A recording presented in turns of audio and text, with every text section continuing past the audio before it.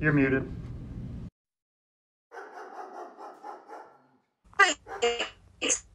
Still can't hear you, Cat. Also, Sean, what's that noise? Sorry, I'm watching Josie's dog for a couple days. I think this should be working now. I can hear you now, Kat. Good. Well, thank you everyone for joining our first team meet.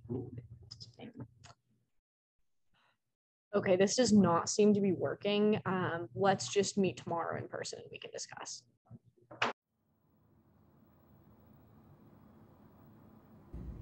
Thank you all for meeting today after yesterday's technological mishaps. Uh, where's Josh? Uh, I think he disconnected before you before you heard the announcement.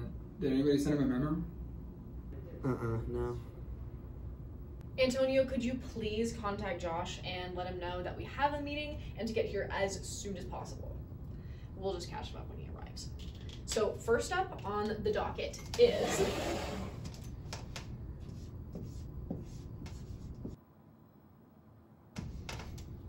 increasing our efforts to attract better and younger minds to our company. Personally, I believe that the best way to address this is offering candy with job applications attached to on our front desk and only give it to children below the age of 12. What do we think? Yep. Sounds good. I'm glad we all agree. Next.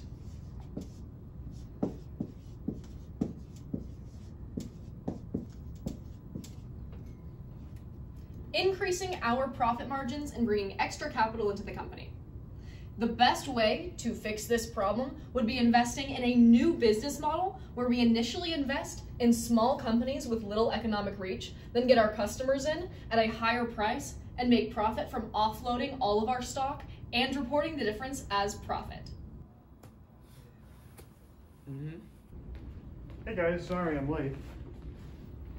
No worries, we'll just catch you up later. The final topic of discussion is how we can better promote diversity, equity, and inclusion efforts in our company. So, this is easily my absolute best idea.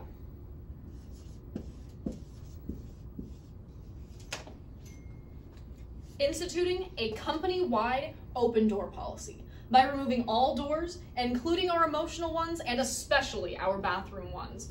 No one and no longer does anyone need to be feeling vulnerable when asking your neighbor for a pen or a apply. We are a family company.